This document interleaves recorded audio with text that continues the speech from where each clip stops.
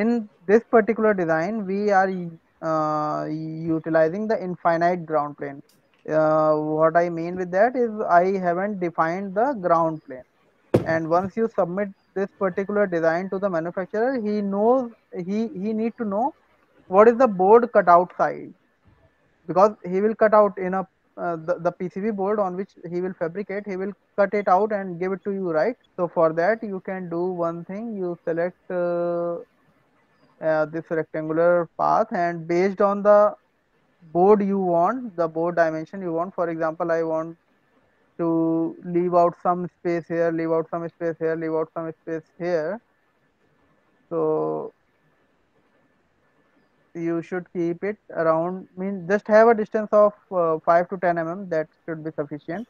But i am not leaving any distance here. So we are going to put the sma connector here which will be soldered on this layer so that is why if i keep the board to this particular the ground will be up to this then uh, my solder pin might not reach to this uh, transmission line and we, this we don't want so that is why I'm not leaving any space here. You may go very close and find to have around 1 mm of gap maybe if you are still curious that your uh, transmission line should not be uh, rubbed out while designing the PCB. So you can leave those little space for the tolerance of PCB machine.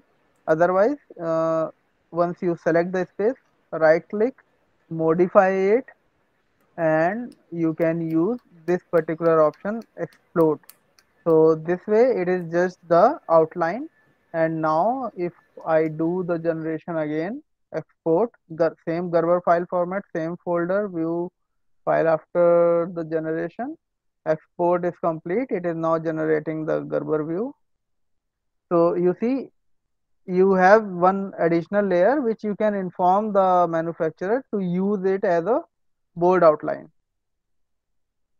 So this way you can transfer the complete information to the manufacturer.